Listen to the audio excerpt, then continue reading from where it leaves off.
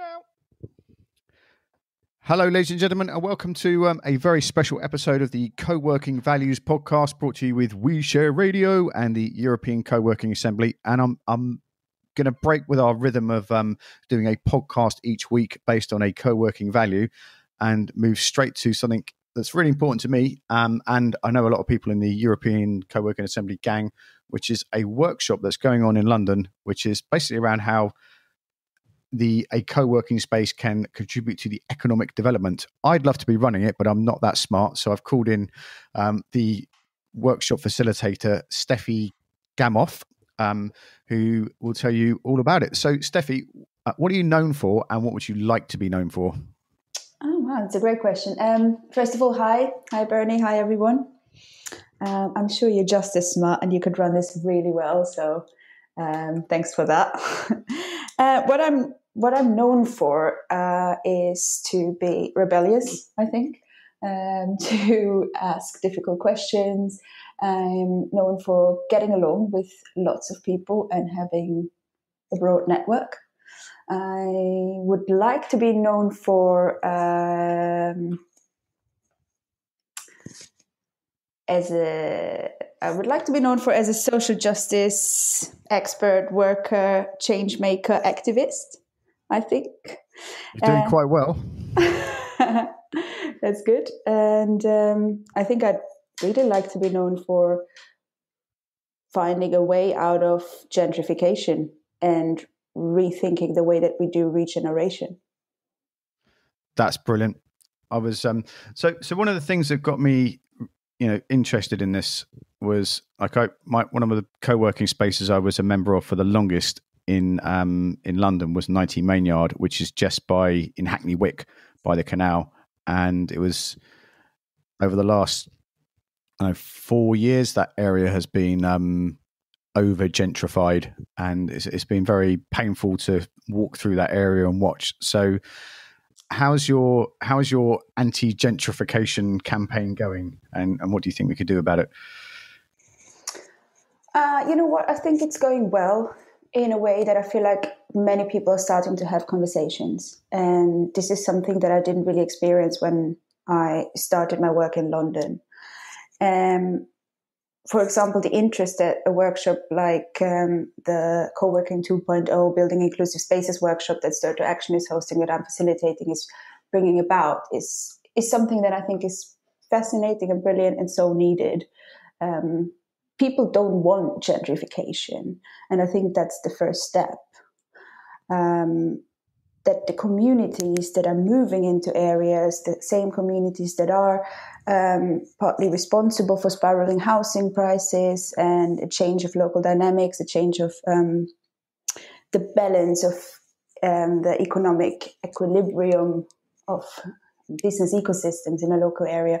Those same communities don't want gentrification, are questioning what can we do, and I think that's such an important step. So, what's the um, we'll go. I'm, I'm dying to. I've got to ask two questions, but I'm going to go for this first. Is um, what will the workshop cover? Because that's probably that's what main reason people tuned in today, and then I can get onto a co-working gentrification rant. But what what what's the uh, what's the what's the goal of the workshop, and what will we leave with? So, first of all, we're going to look at co-working as a um, form of empowering a self-employed and a self-employed precariat. Um, what are the challenges, what are the opportunities, and then look through some interactive exercises, some um, sensing journeys. You'll find out what that is if you take part in the workshop through London. Uh, look at yeah, uh, look at the question of community. What is does community mean to us, and how is community being used currently in the co-working language? And finally, we were to lay out some concrete strategies for engagement with local organizations. So, how can a co working space start to build partnerships, networks uh, uh, with local groups? And how can it be a place for empowerment for local groups? What would a strategy look like that can achieve exactly that? That's what I want people to walk away with. and who are the who are the best people to come? If I if I own um you know if I own Regus, should I be turning up to this, or is it maybe another target market? No, I think you can turn up. I definitely think you can. Um, I think that'd be can. a great move, wouldn't it? Actually, that'd be, that'd be exactly. Um, I believe that the conversation is going to be most interesting if there is a diversity of stakeholders. So I hope for a good mix of people who work um, as part of co-working spaces, who run co-working spaces, different sizes, different sized co-working spaces in, in different areas of the country and London. Um, at the same time, I really hope that we have a couple of community activists in the room, people that um, work in local organizations, that lead local organizations, and have a bit of a different opinion of co-working spaces, but also might see them as an opportunity for them to access resources and skills and for the area to develop further into a direction that actually benefits a wide range of communities. So, so one of my questions is always, how long do you think it, or or in your experience, or whatever the nice way to ask that is does it take to like build for for a space to build a relationship with the local community? Because often I've, I hear a lot of stories of like we we did this and we did this and this happened and it always uh, it's not the intention of the people telling me that but it always seems like it happened in two weeks but i i know there's more to that. So what, what do you think? I believe it takes time i believe it takes time and commitment if i had to put a timeline on it say two years at least yeah especially um, if there is an already established brand identity and culture attached to a specific space. If you if you're trying to change that, um, it's going to take a while because it means changing people's perceptions. And um, without trying to give away too much of the workshop content, I think um, what's really needed there is to open up the doors, open up the space, and get in as many people as possible to create a new brand, a new identity for that space. Um, and to really, and who, yeah. How, how do how do you, th- in your experience, how do you think a co-working space that like pops up um, in a you know somewhere like Hackney Wick or Brixton or Finsbury Park um, occurs to the local community because not because people who work in business don't understand what a co-working space is. So what? So I've got two questions actually. How do you think it occurs to people, or what have you heard people say? And then what do you think it could be for that area? I think it usually occurs as something, hey, that's not for us. Um, a space that's uh, for a new group of people that are dominant in this in, in a specific area that have recently moved in, and this has a lot to do with power dynamics and this has a lot to do with privilege. And a certain self perception of new communities uh, who are not very aware of the kind of um, impact that they have on people who might have lived in that area for longer than them. Um, Okay, Bernie, can can you repeat the question? I lost my. I That's all right. No, no, sure. The the um, it was a very long question. My fault. and then and then what could it, what could what could a co-working space be to the local area? If if we say we followed the everything in the workshop, I know that's very geeky, but if we did follow everything in the workshop and waited two years, what do you think we could have our co-working space mm. be?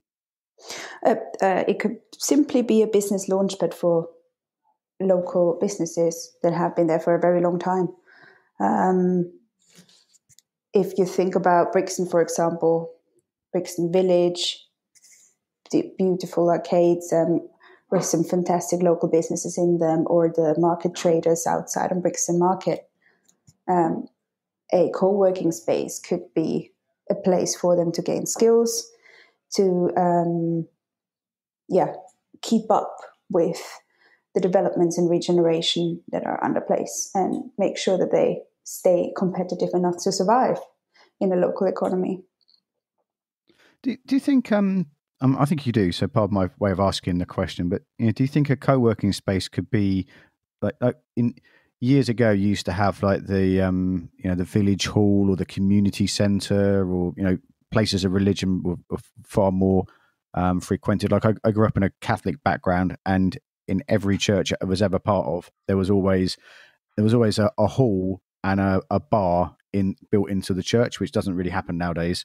But it, it, was a hub. Even people that weren't part of the church would come to the bar and meet, and a lot of things came out of that to do with the local community. Now, I have this ideal that co-working spaces, if heading in the right direction, could fulfill that type of role in the community. Is that and do you agree or? I absolutely agree. I think that's the ideal scenario. I think there's a few steps that need to come before that. And they have something to do with the question of who is in the space. Because one of the problems that I see currently is that the kind of people that are involved in the village hall type conversations, in the community forums, are people who have I'm going to use the word to have the privilege to have enough time to volunteer and come to these kind of conversations. If you're so busy trying to make ends meet, you will find it difficult to take part in conversations about your local neighborhood. I, I, I totally agree with that part because I'm I'm part of the uh, the local residents association in my area here in in sunny Ilford, and the people there are either like over-committed concerned citizens, um, and that's you know someone like me, or they're they're people who are retired, and some of those people, not all of them, some of those people don't like the way don't like the way the neighbourhood's going, and other people are just you know bored, and it's it's very hard to find the time to you know participate in your local community. Absolutely. So I believe a way to first of all we need to think about how can we what is needed what do the people who are missing on this table actually need us to do what kind of support needs to be provided for them to be in the room and then we can think of a um, yeah village type conversation forum etc and um, I've got another question about the type of people that come to co-working spaces because it, and you are welcome to challenge me in this, but it just seems to be that a, um, you know, like we're doing a big thing about inclusion, and diversity. We did it at the Juicy co-working event, and we've run a couple of events in London, and we're doing it at co-working Europe next week. And it's all about inclusion, diversity, and accessibility. And kind of, it, it just always seems that co-working spaces are full of like nice white people usually men with um, Apple machines, and you know I'm a nice white person with an Apple machine, but that that's who co-working seems to be for, and I think and you, you don't I don't very often bump into people doing anything other than like design or programming or freelancing writing things, and you know what what could we do to be more of a business resource rather than a cool, trendy resource? Mm. I think it's a good question. I don't have a fixed answer to it. And I think the workshop is also a place where I hope that we can come to some collective solutions here. But I think that this is where the question of community is so important. I think one of the mistakes the co working spaces have made is that they started to see community in a very narrow way and just for the people who are part of their space to be supportive to each other, to share skills, to have socials together. And I think that can actually, in its worst case, be really dangerous because you start to think of community as a small group rather than understanding the role of this co working space and the um, knowledge creation that happens there, the skills that are available in the wider context.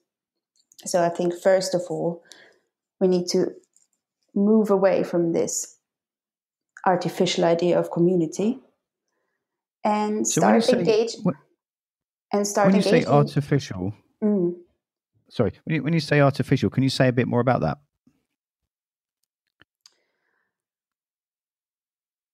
well at best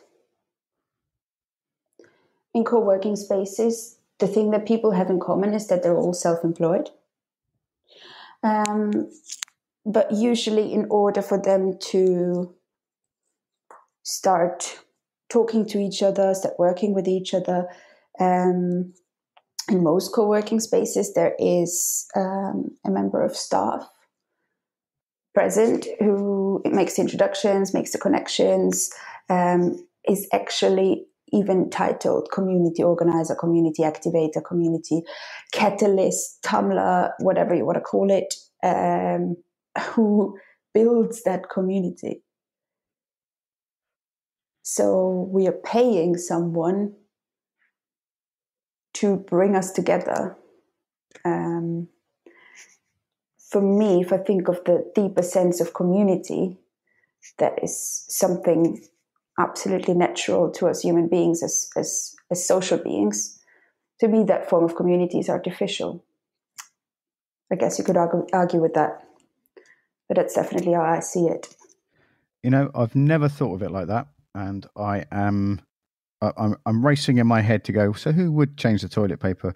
But it is it is I I naturally okay. Here, here's my here's my response to that is when I'm in that paid position, I hate it. When I'm not in that position, I just do it without thinking. Yeah, uh, and I think mm-hmm. that's what you were touching on. Like I, I will I will not even think about pulling people together and I, lo- I love introducing two people together at things and then running off and leaving them hanging to sort of work it out for themselves. And i'm i'm well known for that nasty social trick. But um it's you know it just comes naturally. But when i have to, if, if you have to score me on how many people i put in in touch this week i would you know go and hide in a cupboard. So that is that is something i'd never thought of it quite quite that way. So uh, how could we um what do you think about the just a tangent a bit? What what do you think about the word community together? Because I, I think it's just everyone talks about it, but there's so many different interpretations of it. Some of them like commercial interpretations of it. Some, you know, lots of different ways. But when people use that word, what happens to you? Well, it really depends. I think I think you can see when it's being used in, a, in an authentic way, or you experience it when it's used in an authentic way. Uh, if it is used in a way that it does not seem authentic to me, I cringe. I really cringe. I think uh, there is a lot of appropriating appropriation of the term community happening, and I think it's really problematic and sad to be honest. It is. I don't think any of my gang are going to disagree with that. So, so my last thing is we we sort of open with a bit about gentrification, and I have seen a, a lot of well intentioned actually. Um, they're not, you know, nasty developers just crushing things, but I've seen a lot of co working spaces open up in not necessarily deprived areas, but like it's like someone just went and put this group of nice white people with their Apple Macs in a in another community, and you know it's totally out of space. And it seems like okay for that to be there, that co-working space to be there, full of nice, you know, educated white middle class people, and no one seems to question it. And this is, I'm sort of bravely bringing this up because it's come up a few times in conversations this year is you know kind of like how does that happen or how does that seem okay? Or what could the people in that space do to you know not just take advantage of the uh, low rent in that area of town? I think first there is i feel like there was a lot of sensed helplessness uh, for these gentrifying communities. Almost in a way of like gentrification is inevitable. The, yes, I'm a middle class white person with a laptop, but this is just where I move. This is just what's, happening. Um, and a sense of guilt, at least with uh, amongst the people that I've spoken to, it's not that people are proud of it, but um, no one really knows what to do about it.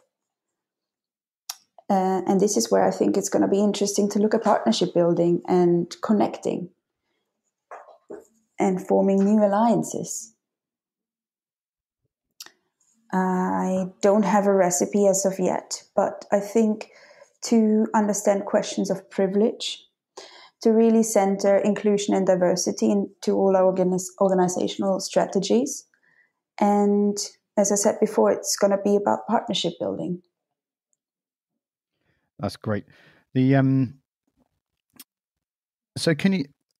I'll obviously put a link in the show notes to what we're doing, but can you give us a little um, just do a complete advert for the workshop and don't hold back.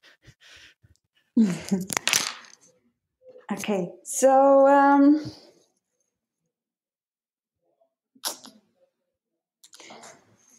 yeah, so if you're interested in gentrification, if you're part of a co-working space, if you love co-working spaces, if you hate co-working spaces, please come and let's have a conversation about how they could work differently and how they could actually serve the communities. We're going to talk about who is left out currently of the idea of self-employed empowerment.